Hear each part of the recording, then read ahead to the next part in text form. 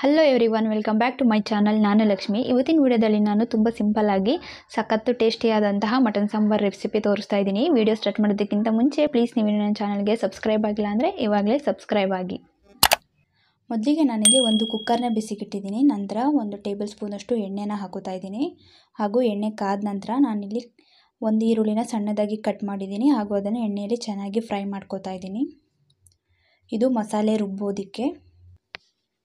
ನೀವು ಈ ರೀತಿ ಎಣ್ಣೆಯಲ್ಲಿ ಫ್ರೈ ಮಾಡಿ ಈರುಳ್ಳಿನ ರುಬ್ಬೋದ್ರಿಂದ ಸಾಂಬಾರು ಟೇಸ್ಟು ತುಂಬಾ ಚೆನ್ನಾಗಿ ಬರುತ್ತೆ. ಆದ ಕಾರಣ ನಾನಿಲ್ಲಿ ಎಣ್ಣೆಯಲ್ಲಿ ಫ್ರೈ ಮಾಡಿ ರುಬ್ಬೋದಕ್ಕೆ ಹಾಕೋತಾ ಇದ್ದೀನಿ. ಹಾಗೂ ಸ್ವಲ್ಪ ಫ್ರೈ ಆದ ನಂತರ ನಾನಿಲ್ಲಿ ಒಂದು ಪ್ಲೇಟ್ಗೆ ಎತ್ಕೊಂಡಿದ್ದೀನಿ.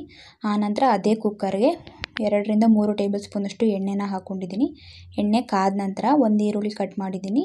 ಹಾಗೂ ಎರಡರಿಂದ ಮೂರು ಹಸಿಮೆಣ್ಸಿನ್ಕಾಯಿನ ಕಟ್ ಮಾಡಿ ಹಾಕೋತಾ ಇದ್ದೀನಿ. ಆನಂತರ ನಾನಿಲ್ಲಿ ಒಂದು ಮುಕ್ಕಾಲು ಕೆ ಜಿಯಷ್ಟು ಮಟನ್ನ ತೊಗೊಂಡಿದ್ದೀನಿ ಹಾಗೂ ಚೆನ್ನಾಗಿ ವಾಶ್ ಮಾಡಿ ಇಟ್ಕೊಂಡಿದ್ದೀನಿ. ನಿಮಗೆ ಎಷ್ಟು ಸಾಧ್ಯವಾಗುತ್ತೋ ಅಷ್ಟು ನೀರನ್ನು ಚೆನ್ನಾಗಿ ಹಿಂಡಿ.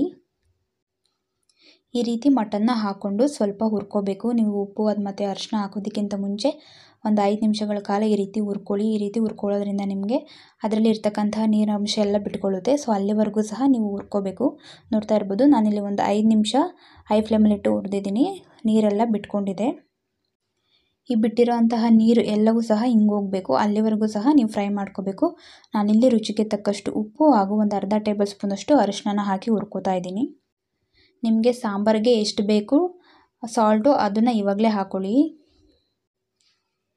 ಉಪ್ಪು ಮತ್ತು ಅರಿಶಿನ ಹಾಕ್ಕೊಂಡು ನಾನು ಈ ರೀತಿ ಒಂದು ಹತ್ತರಿಂದ ಹದಿನೈದು ನಿಮಿಷ ನೀರೆಲ್ಲ ಹಿಂಗೋವರೆಗೂ ಸಹ ನೀವು ಹಾಗೆ ಬಿಡಬೇಕು. ಕಂಪ್ಲೀಟಾಗಿ ನೀರೆಲ್ಲ ಹೋಗಬೇಕು ಅದು. ಅಲ್ಲಿವರೆಗೂ ಸಹ ನೀವು ಇದೇ ರೀತಿ ಬೇಯಿಸ್ಕೋಬೇಕು. ಅಷ್ಟರಲ್ಲಿ ನಾವು ಮಸಾಲೆನ ರುಬ್ಕೊಳ್ಳೋಣ. ನಾನಿಲ್ಲಿ ಎಣ್ಣೆಯಲ್ಲಿ ಫ್ರೈ ಮಾಡಿದ್ದಂತಹ ಈರುಳ್ಳಿನ ಹಾಕೋತಾ ಇದ್ದೀನಿ. ಒಂದು ಎರಡು ಮೂರು ಟೇಬಲ್ ಸ್ಪೂನಷ್ಟು ತೆಂಗಿನಕಾಯಿನ ತೊಗೊಂಡಿದ್ದೀನಿ ಹಾಗೂ ಒಂದು ಎರಡು ಟೇಬಲ್ ಸ್ಪೂನಷ್ಟು ಹುರುಗಡ್ಲೆನ ತೊಗೊಂಡಿದ್ದೀನಿ ಹಾಗೂ ಒಂದು ಸ್ವಲ್ಪ ಚಕ್ಕೆ, ಒಂದು ಮೂರರಿಂದ ನಾಲ್ಕು ಲವಂಗ, ಒಂದು ಇಂಚಷ್ಟು ಶುಂಠಿ ಹಾಗೂ ಒಂದು ಹತ್ತು ಬೆಳ್ಳುಳ್ಳಿ ಹೆಸಳನ್ನು ಹಾಕೋತಾ ಇದ್ದೀನಿ. ಶುಂಠಿ ಬೆಳ್ಳುಳ್ಳಿ ಪೇಸ್ಟ್ ಕೂಡ ಹಾಕೋಬೋದು. ಆನಂತರ ನಾನಿಲ್ಲಿ ಒಂದು ಟೊಮೊಟೊನ ಸಣ್ಣದಾಗಿ ಕಟ್ ಮಾಡಿ ಹಾಕ್ಕೊಂಡಿದ್ದೀನಿ ಹಾಗೂ ಸ್ವಲ್ಪ ಪುದೀನ ಹಾಗೂ ಸ್ವಲ್ಪ ಕೊತ್ತಂಬರಿ.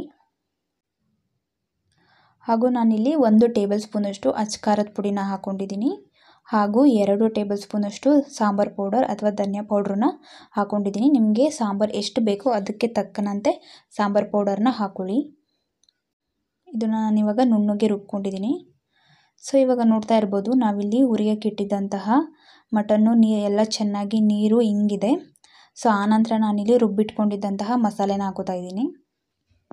ನಿಮಗೆ ಸಾಂಬಾರು ಕನ್ಸಿಸ್ಟೆನ್ಸಿ ಯಾವ ರೀತಿ ಬೇಕೋ ಅದಕ್ಕೆ ತಕ್ಕಂತೆ ನೋಡಿ ನೀರನ್ನ ಹಾಕೊಳ್ಳಿ. ಮಟನ್ ಸಾರು ಸ್ವಲ್ಪನೇ ತೆಳುವನ್ನೇ ಇದ್ದರೆ ಚೆನ್ನಾಗಿರುತ್ತೆ. ನೀವು ಸ್ವಲ್ಪ ತೆಳುವಾಗೆ ಮಾಡ್ಕೊಳ್ಳಿ ಸಾಂಬಾರು. ನಾವು ಉಪ್ಪನ್ನು ಮೊದಲೇ ಹಾಕೊಂಡಿದ್ವಿ. ನಾನಿಲ್ಲಿ ಕುಕ್ಕರ್ನ ಕ್ಲೋಸ್ ಮಾಡಿ ಆರರಿಂದ ಏಳು ವಿಷಲ್ ಬೇಯಿಸ್ತಾ ಇದ್ದೀನಿ.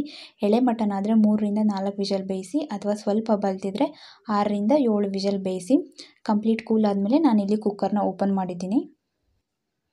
ನಾನಿಲ್ಲಿ ಏಳು ವಿಷಲ್ ಬೇಯಿಸಿದ್ದೀನಿ. ಮಟನ್ ಎಲ್ಲವೂ ಸಹ ತುಂಬ ಚೆನ್ನಾಗಿ ಬೆಂದಿದೆ. ನಿಮ್ಗೆ ಏನಾದರೂ ಮಟನ್ ಬೆಂದಿಲ್ಲ ಅಂತ ಅನಿಸಿದ್ರೆ ಕ್ಲೋಸ್ ಮಾಡಿ ಇನ್ನೂ ಎರಡು ವಿಷಲ್ ಬೇಯಿಸ್ಕೊಳ್ಳಿ. ಫೈನಲಿ ನಿಮಗೆ ಬೇಕಂದರೆ ಸ್ವಲ್ಪ ಕಟ್ ಮಾಡಿರ್ತಕ್ಕಂತಹ ಕೊತ್ತಂಬರಿನ ಈ ರೀತಿ ಹಾಕ್ಕೊಳ್ಳಿ ಚೆನ್ನಾಗಿರುತ್ತೆ ಟೇಸ್ಟ್ಗೆ. ತುಂಬ ಸಿಂಪಲ್ ಆದಂತಹ ರೆಸಿಪಿ ಗೈಸ್, ಹಾಗೂ ತುಂಬ ಟೇಸ್ಟಿಯಾದಂತಹ ರೆಸಿಪಿ. ಈ ವಿಡಿಯೋ ಇಷ್ಟ ಆದರೆ ವಿಡಿಯೋಗೊಂದು ಲೈಕ್ ಮಾಡಿ ಫ್ರೆಂಡ್ಸ್ ಹಾಗೂ ನಿಮ್ಮ ಫ್ರೆಂಡ್ಸ್ ಆ್ಯಂಡ್ ಫ್ಯಾಮಿಲಿ ಜೊತೆ ವಿಡಿಯೋವನ್ನು ಶೇರ್ ಮಾಡಿ. ಮುಂದಿನ ವಿಡಿಯೋದಲ್ಲಿ ಒಂದು ಹೊಸ ರೆಸಿಪಿ ಜೊತೆ ಸಿಗ್ತೀನಿ. ಅಲ್ಲಿವರೆಗೂ bye and thank you for watching my channel